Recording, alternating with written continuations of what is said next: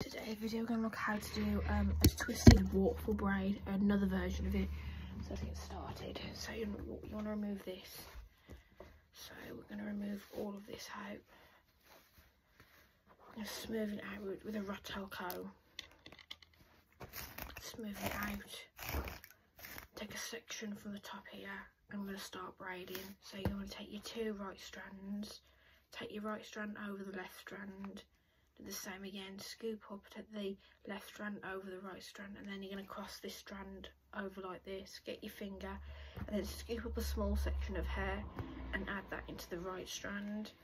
Then a bit close to the camera, take your left strand into the middle and you scoop up a small section of hair like this and add that into the left strand and take your right strand into the middle like this and then cross that over like this. So you're just crossing it over and adding hair. Scoop up a small section of hair like this and add that into the left strand.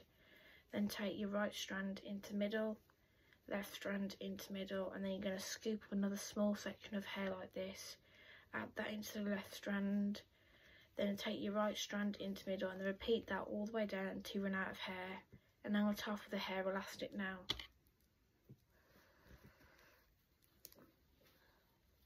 and let me know what you thought of it down below this twisted waterfall